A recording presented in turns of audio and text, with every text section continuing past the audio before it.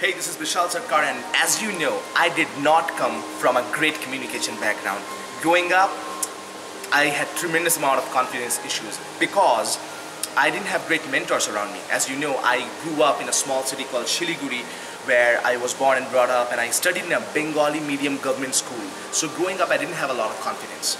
Now, when people come to know about this fact, they connect with me. They know, like, and trust me very well. Why? Because remember this lesson, public speaking and presentation is all about telling your story and making your point.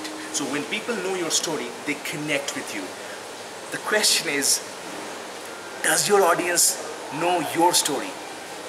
Do they know how you know what you know? Because if they don't know your story, if you're, all you're doing is just preaching, they won't connect with you for a long time.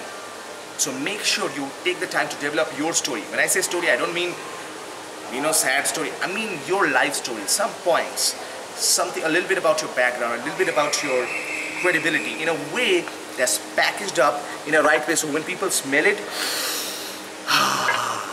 it's amazing. That's the tip I have for you. So tell your story because remember, your story will lead you to your glory. That's the tip I have for you. Make sure you subscribe to the channel. My name is Bishal Sarkar, always reminding you that public speaking is not about perfection. It's all about connection.